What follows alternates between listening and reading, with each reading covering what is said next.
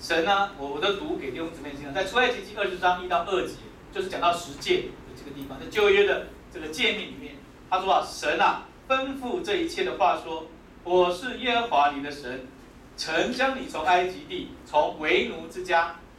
啊领出来啊，第一个第一条诫命，除我以外，你不可有别的神啊，这是神是独一的神，因为当时在迦南地啊，啊，在这个。他们要从埃及地这个进到迦南地，也是啊，有很多神，埃及有很多神，然后到了迦南地呢，也有很多的这个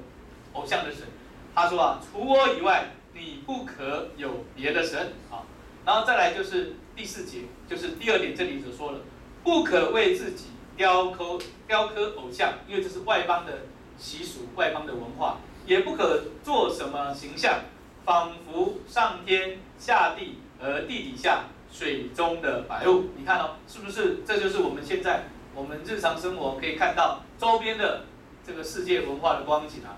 雕刻很多的偶偶像，做很多的形象，呃，天上的、地下的、地底下的、水中的都有哦啊，有弟兄他们去这个啊印度开展，那印度教什么都是神，哦，石头也是神，那个也是神。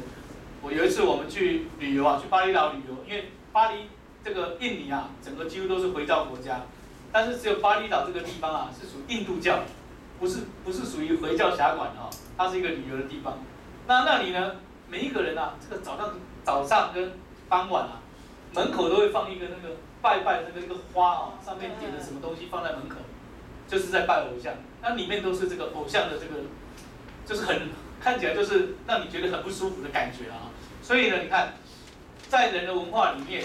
日本也是啊，什么也很多也都是什么神啊，好，那这个天上、地下、地底下、水中的白雾，我们不可雕刻偶像，也不可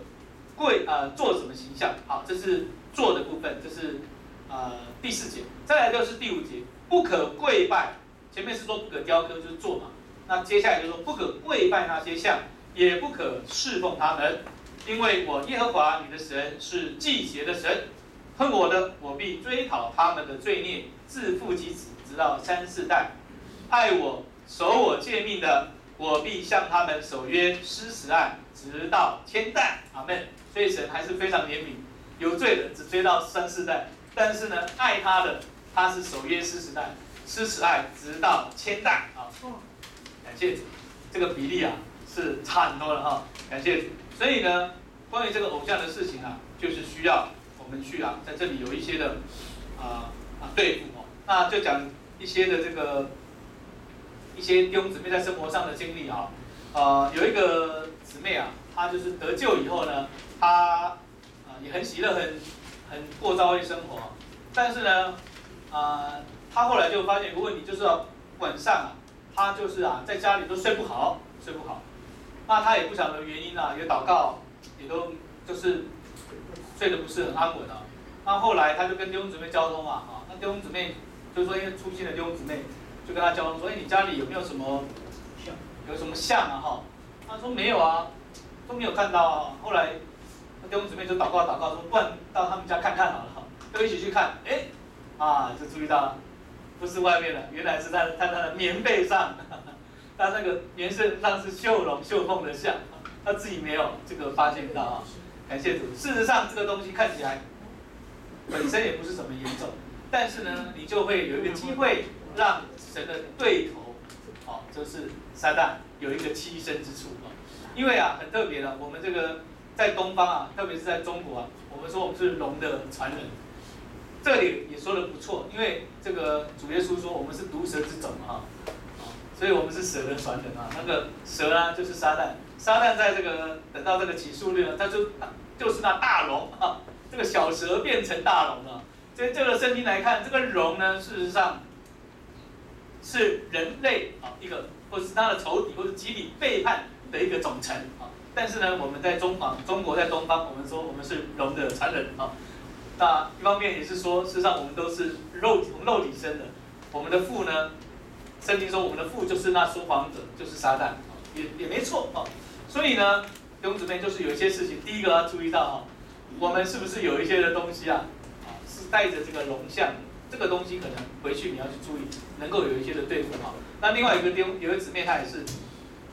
她就呃那时候我们在大学聚会有一个受惊的姊妹，她也是会有身体啊一直受搅扰，那跟我们交通，我们去他们家小牌，她就交通这个事情，说哎是不是有个东西啊，他没有受对付啊？后来我们就看了一下，到底有什么东西啊？很多东西，这个东西都是隐藏的。我们找到了两个啊，第一个呢，就是在他的门口，他的门进来那个红色的门啊，上面我们有时候门上面会有那个铁的雕饰啊，很多上面就是一条大龙在上面啊，这是第一种啊。啊，那第二个呢，因为他他不喝酒，但是他喜欢收藏酒，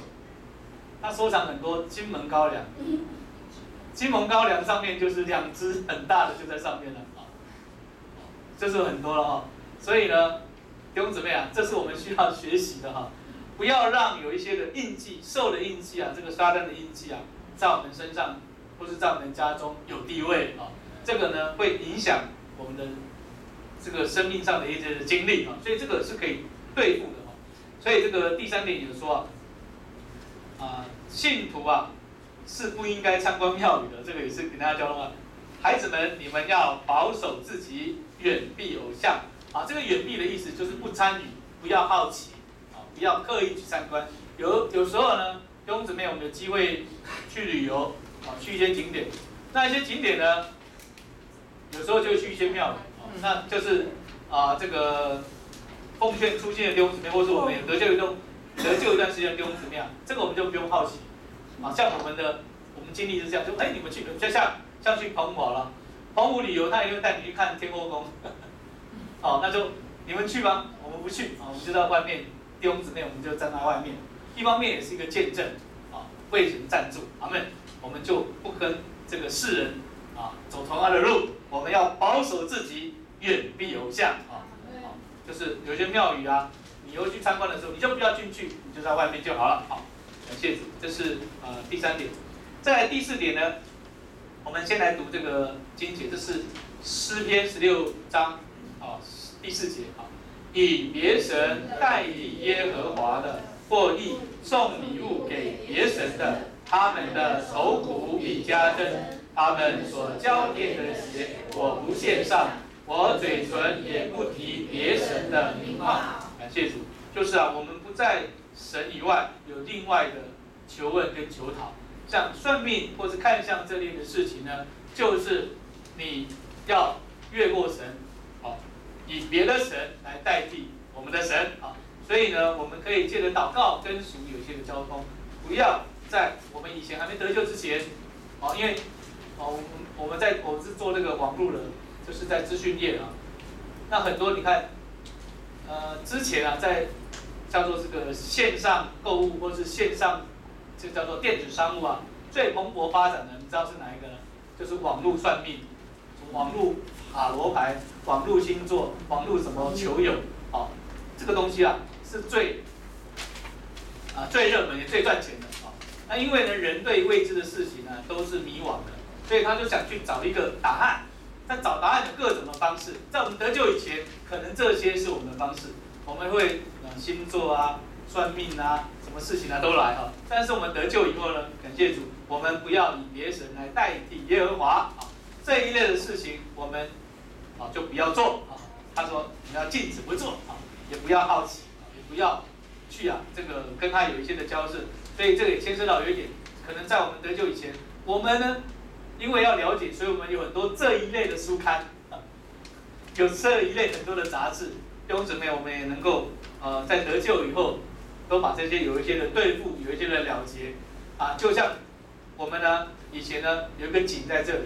啊，我们得救以后呢，啊，这个算命呢，有一些书刊呢，就像这个井，你一直把它摆在那里，你说绕啊绕，有一天呢，你很容易就掉到这个井里面去了，你要离它远一点，甚至就把它挪开丢掉，啊，说我们在未来的基督徒生活啊，就不要有任何啊受这方面的影响，啊，这些都需要对付。